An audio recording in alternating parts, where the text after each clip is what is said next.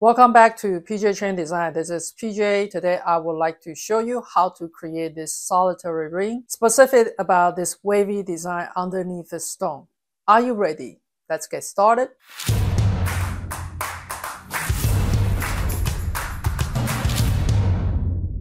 In this tutorial, we are going to starting with the center of a stone, building the prong, then we're gonna work with the handle, and then we're gonna starting building this uh, red color surface to fit it into this taper ring. As starting from the scratch. So we are going to start at the front view, and I'm going to snapping in the zero, and for the ring size, I'm going to set it up diameter for 16 millimeters. So using the circle command, that you can simply making this circle, and then I'm going to calling a stone. You can subscribe my newsletter at the link below and I will have stone file for you to download. After you copy paste the stone into the file and we are going to, you can edit it to whatever size that you wanted to do. So for example, I'm going to a little bit smaller like this. Okay, so we are going to moving the stone to the top and start making the set for it. You can use the circle command to draw another circle and this circle can be something just a little bit smaller than our stone size, coming roughly like this. With this circle, I'm also going to use the offset command. So you're gonna offset this curve for whatever thickness. I'm going to set it up for 0.8 millimeter and simply just extruded this one straight up for something like this. This is going to be the under bezel, the metal underneath the stone to support the stone over there.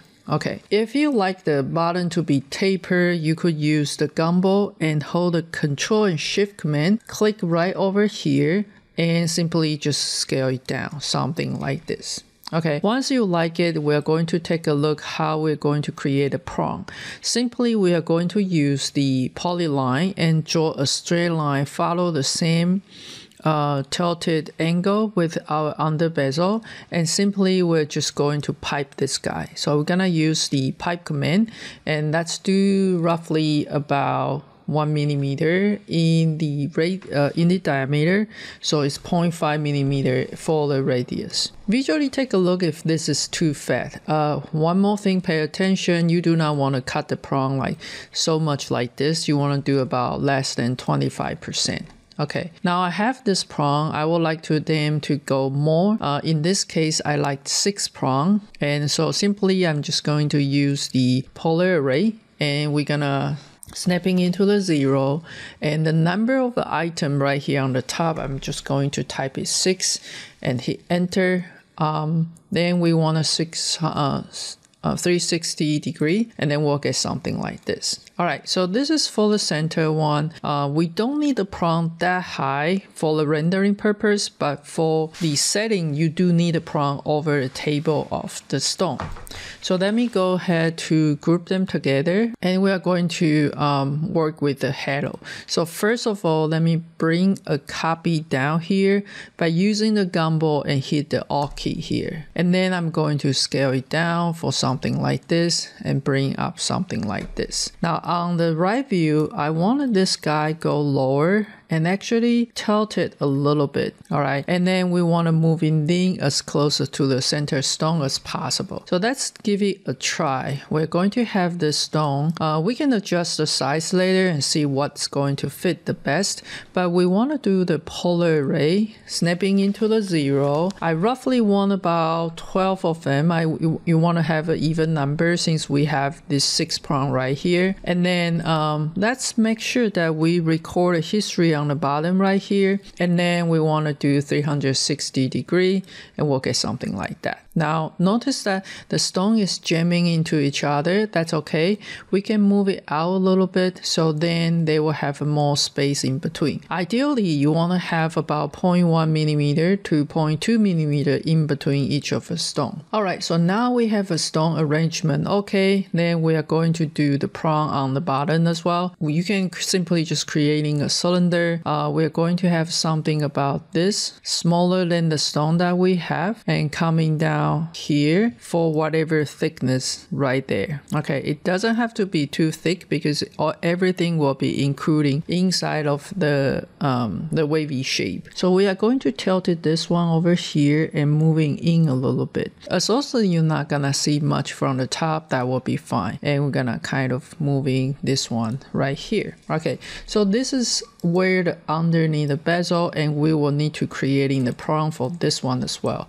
Let's take a look on the right view creating a straight line from here to here. And we're going to pipe it. So let's go ahead to pipe uh, using the pipe command. And we're gonna do um, a little bit smaller. So maybe 0.35 to make it 0.7 millimeter in diameter. And we'll get our prong like this now, double make sure if the prong look okay to you. If that look okay to you, we also need to have a shared prong inside.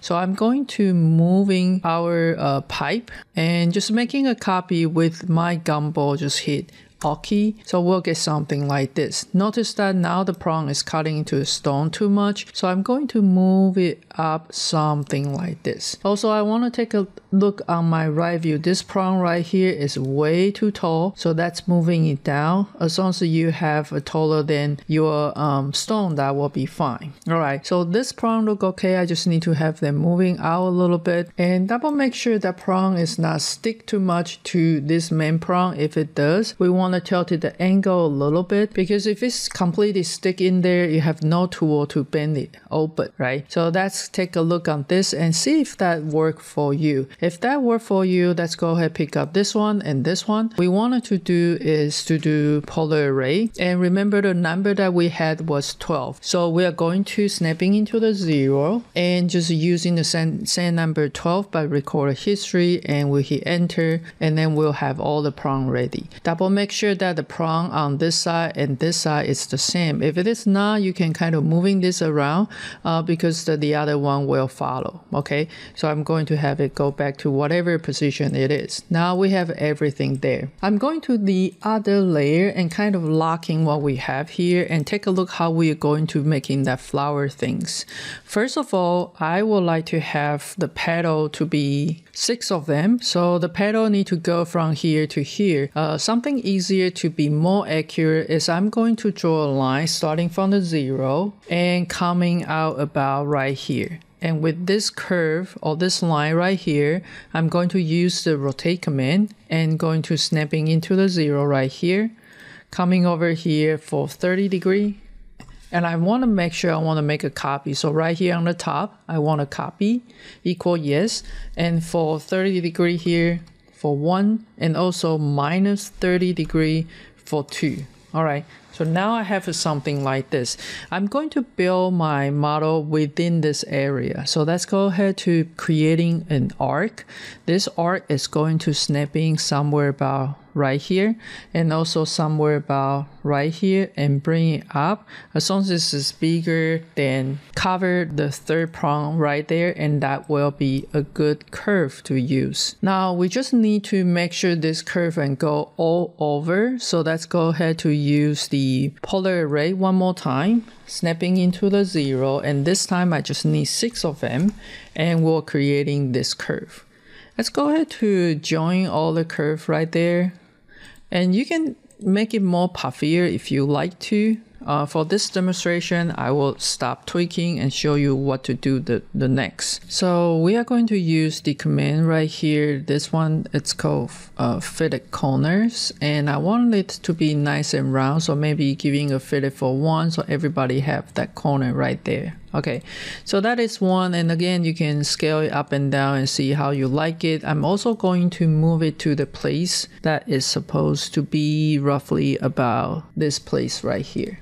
Okay, now the second thing is I'm going to draw a circle right in the bottom. So I'm going to hit zero and make sure you disable your O snap. And then we're gonna moving roughly about right here. Depends on how tapered that you want to have. I'm gonna moving this one up right here. Okay, to creating the surface, we simply just going to use the loft command and we are going to loft in between this curve on the green one and also this one on the bottom, right? So then that will create some sort of a curve like this, the surface like this. If this surface is too um, straight, it doesn't look nice to you what you can do also is you can creating the cross section so let's go ahead to using this arc i'm going to snapping into this quadrant right here and also this quadrant right there and give it a little bit puffier surface a puffier curve right there. Now with this curve, I'm going to use a sweep two rail. We're gonna use a rail one and this is rail two. This is cross section and we're creating the surface like that. It's more rounded surface there. All right, so I'm going to use that surface and just giving the extra surface um, outside by offset the surface. Okay, so we're going to have it 0.65 millimeter for the thickness. That's okay.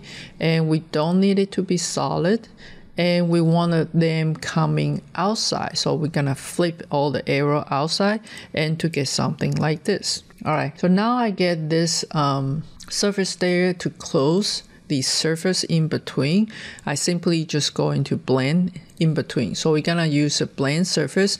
Make sure the chain edge is clicked. So I'm gonna pick up the first, pick up the second, and hit enter.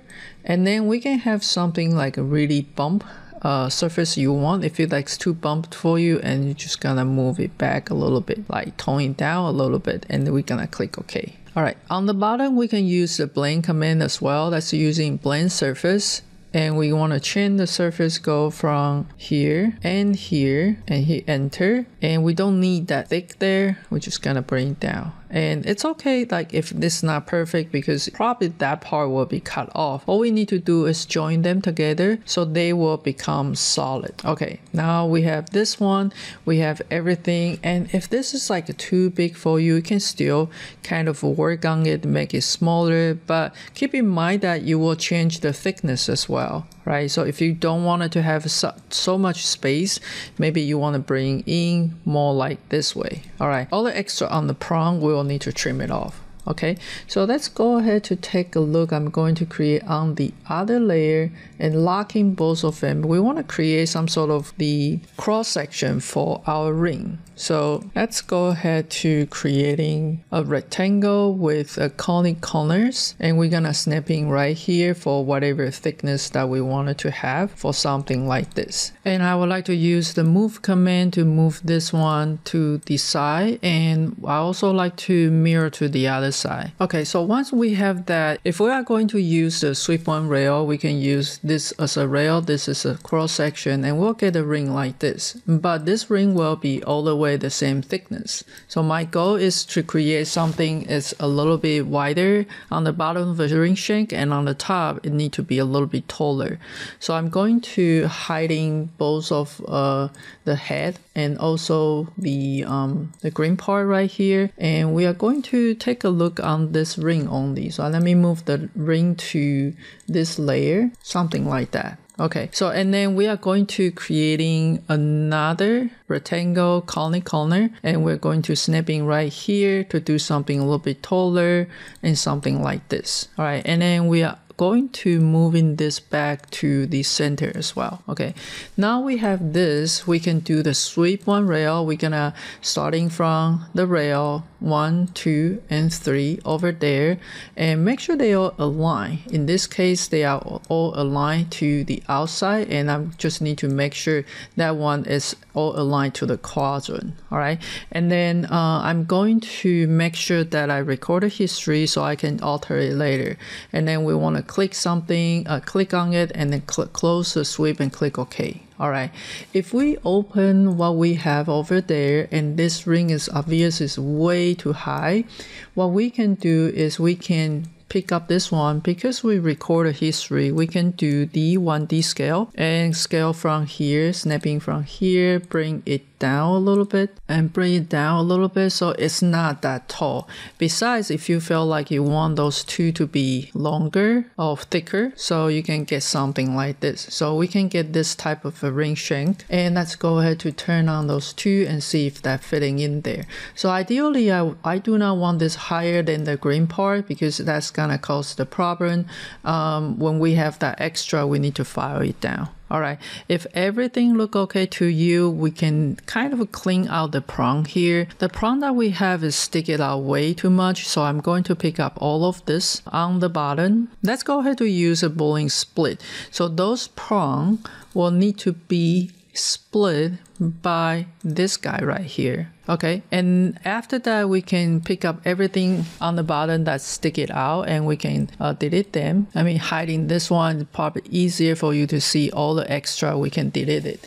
And once we delete it we can turn it back open and so we'll have something like this that we are not gonna see the bottom. Uh, also right here at the front view we need to cut this open so I'm going to pick up the curve for the ring size that we have and we want to go with the solid extruded straight and we want to extrude it on both sides right here all right so first of all look like there's still a lot of uh, prongs going to see so i'm going to hiding all my stone first and cut everything at once.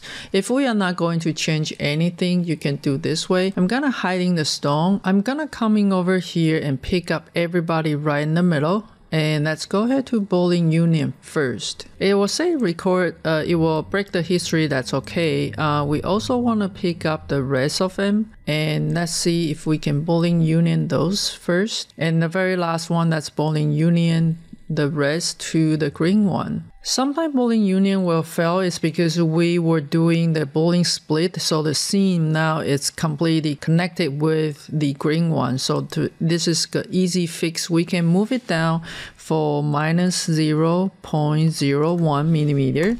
And so now this is intersect and avoid the seam and then we can do the Boolean union one more time. All right, so now it is working. We need to do the Boolean difference. The whole green one is out of this ring shank. All right, so now the extra that we have there, we need to trim it off. We can simply just Boolean split one more time or you can draw a straight line going from here to here. And we also can mirror to the other side. And using those two curves that we have, we can trim the middle part off.